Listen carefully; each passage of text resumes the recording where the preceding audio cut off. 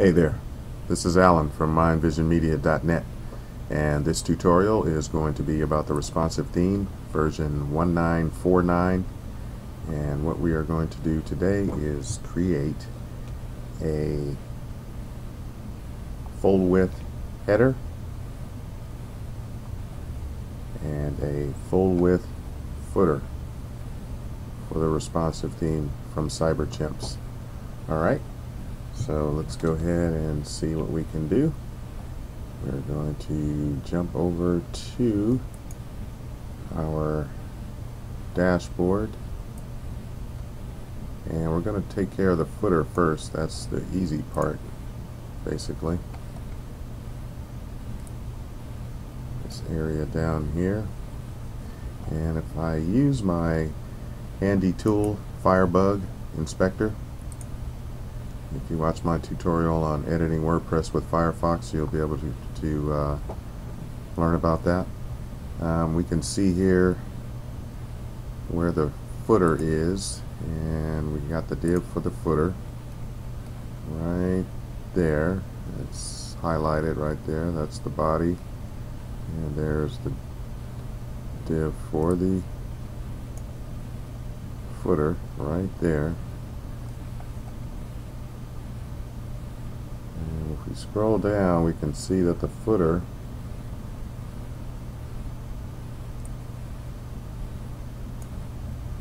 has a width of 960 which is the width of this container that is holding everything in it. Nothing goes past the side of this container right here. The header the footer it all stops right here at 960 pixels. So what we can do since the footer is outside of the container main container as indicated by our inspector here our little tool for Firefox browser Firebug there's the container. Okay and there's the footer highlighted underneath the container see that there's the container. There's the footer. Separate. Okay. So, since it's outside of the container, we can go ahead and change this width right here. Okay. But I'm going to tell you, if we change it here, it won't be permanent. Change it to 100% and now as you can see we have 100% with footer. Okay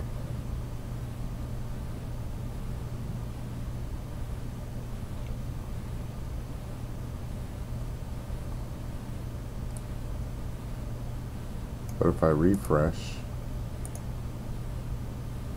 okay footer returns to normal that's because I only did it in Firebug. I didn't do it permanently to the CSS. So what we're going to do, let's do that one more time. I'm going to go ahead and click on the footer. Identify it. You're getting a, a bonus lesson in Firebug right here. go ahead and find the div with the footer. Right there, it's highlighted on the screen. Okay. Go over here to the inspector. To the right in Firebug. And scroll down. And right here footer. And here's the rule declaration for the footer. I'm going to go ahead and copy that. I'm going to right click on there and copy that I'm going to go up here to my WordPress dashboard. Okay. Go to theme options. This is a quick way to implement it without logging onto your server and going into your child theme and, or going to your themes editor and modifying the file this CSS styles panel inside of theme options for the responsive theme allows you to put in some code snippets for your CSS which will override either your child theme or your parent theme. Alright so this width here we're going to go ahead and change that from pixels to 100 percent. And we don't need that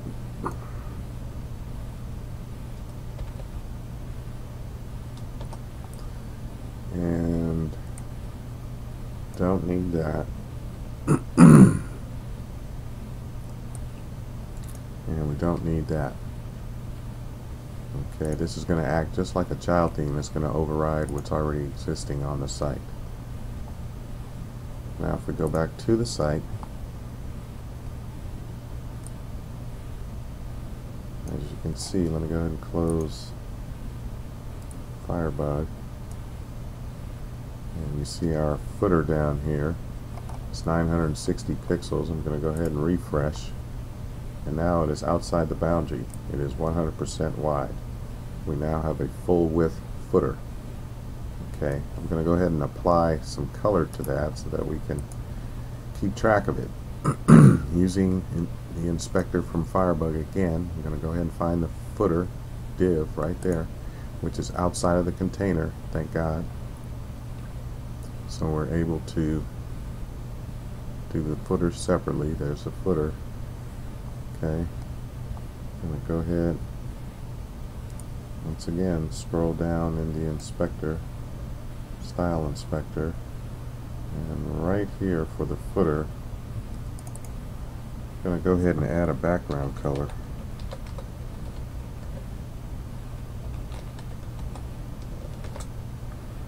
and let's like a light gray. There we go. Okay, so that we added that, but it's only temporary because it's in Firebug. But what I can do is go ahead and right click on that, copy that rule declaration. Once again, go over to my WordPress dashboard, go inside the Style CSS option inside of Theme Options, and make some space, and go ahead and paste that in there. Now we've added a background color to the footer. Okay, I don't need this other stuff.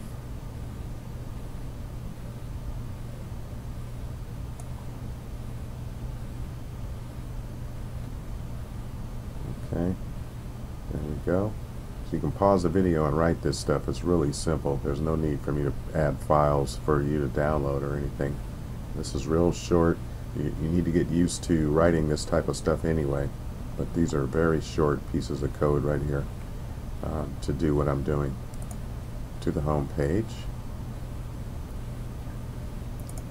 Okay, and so the footer is permanent now just with a code snippet you didn't edit the actual file you didn't go into a child theme you didn't go to your server you just used the custom CSS option in theme options for the responsive theme and now we have a full width footer. Okay so that was the easy part. Now let's go ahead and do the header. Okay I'm going to go ahead and inspect that.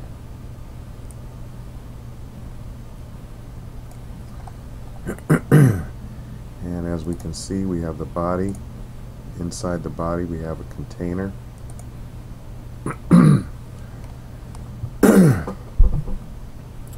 and inside that container remember the footer was separate okay see the footer down there there's the body container and the footer and the body container also contains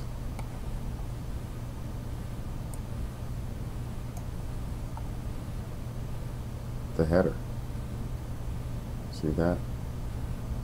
So we have to take the header out of the main body container in order for it to be set free basically so that we can control its width. And it won't be contained by this 960 pixel container. Alright if you follow along. Alright so basically what we need to do is you can see here the header has its selector okay? We're going to end up going into the header PHP file okay? So I recommend doing this on a child theme or making a copy um, as I am about to demonstrate. You want to go to appearance and editor and on the right side scroll down to header and again this should be in your child theme or do what I'm about to do right now. Click inside the header PHP file press control A or command A and then control C or command C. Open up notepad or your text editor and go ahead and paste that in so you have a copy of it alright before you do any edits. Go ahead and save that.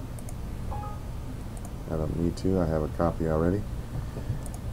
And basically what we're going to do now is take the header outside of the container. Alright so let's see. We're going to scroll through here and take a look at what's going on here okay? So we got here's a container okay that's holding everything. And here's the header okay inside of this container. Whatever's below it is inside of it. There's the container. And here's the end of the container right here okay? Right here so the header is all inside this container. We're going to take all of that stuff out of it. And we're going to go right here. We want to take the container hook or I'm sorry the header hook because we're dealing with the header. We're taking the header out of the container remember? So we want to take this header hook also and the header and everything in between. So we're going to go from here, which is right underneath the, the container. Okay, we're taking everything for the header, header, header, header. Okay, everything all the way down.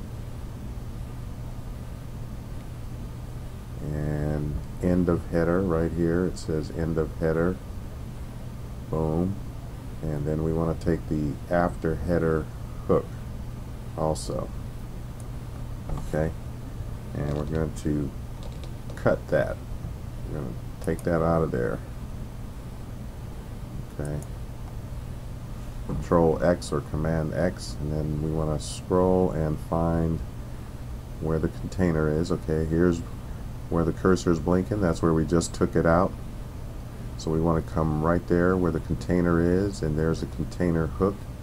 I want to go right above the container hook in the container and make some space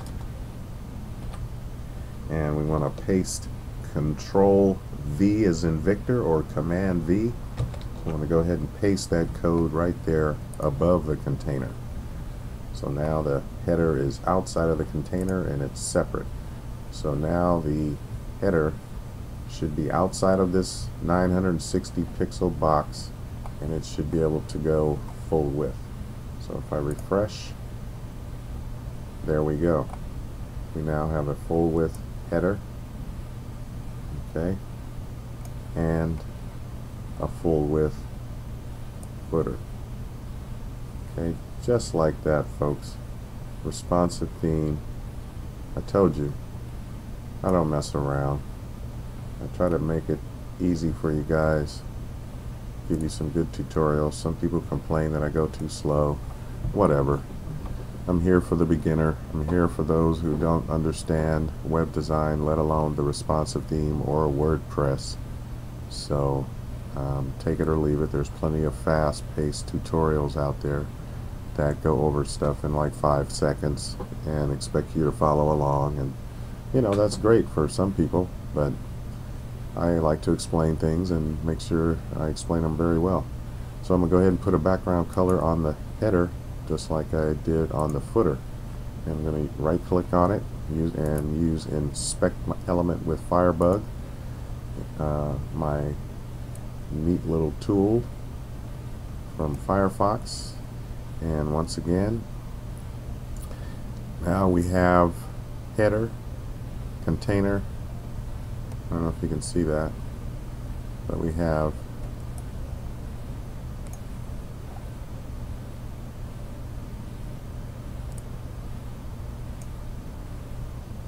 header, container, and footer is down below.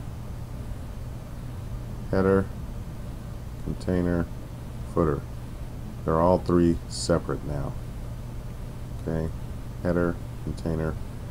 So, I'm going to go ahead and use that header and in the inspector here's the header right here I'm going to go ahead enter enter going to go ahead and put a background color on that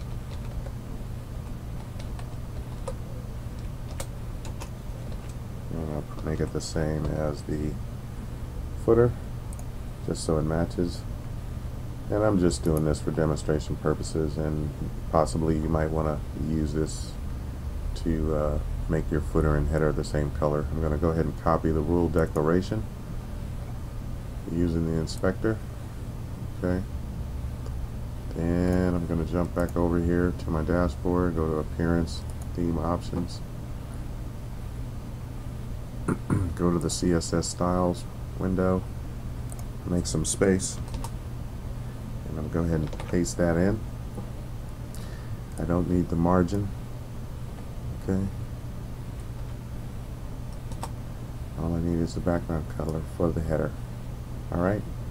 Three simple little snippets of code have helped us um, create a full width header and a full width footer and with background color and just a little bit of editing on the header PHP file which should be on your child theme or you should be editing on a copy.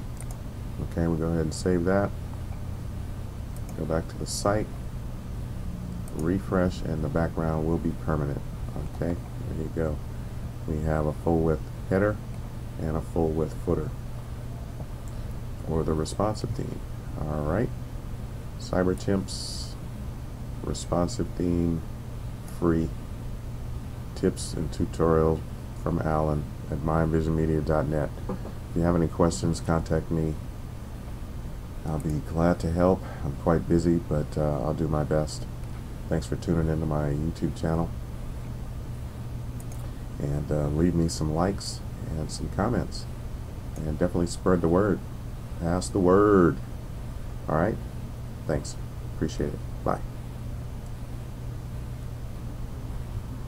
Oh, I almost forgot you want to know how to center the menu now that you have a full width header alright okay there's a little code snippet for that let's jump over to our dashboard and go to theme options and go to our trusty CSS styles option panel. And we're going to go ahead and make some space. And I'm going to grab a code snippet for centering the menu